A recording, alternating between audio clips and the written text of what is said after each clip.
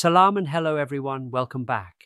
In this lab, we're going to encrypt a hard drive using BitLocker. We'll start by enabling and activating TPM in the BIOS, then configure BitLocker for the system drive, save the recovery key to a network location, and encrypt the entire drive. This is a critical step in protecting sensitive data from unauthorized access. Let's get started.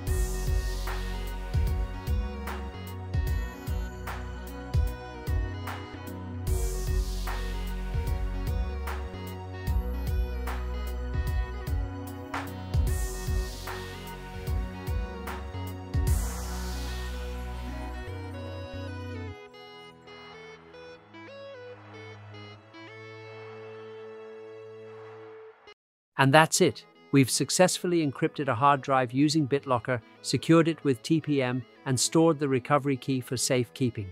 This was the final lab of the Ethical Hacker Pro course. I want to wish all of you the very best of luck in your cybersecurity journey. I truly hope these labs have helped strengthen your skills and confidence as you continue to grow in this field. Stay tuned.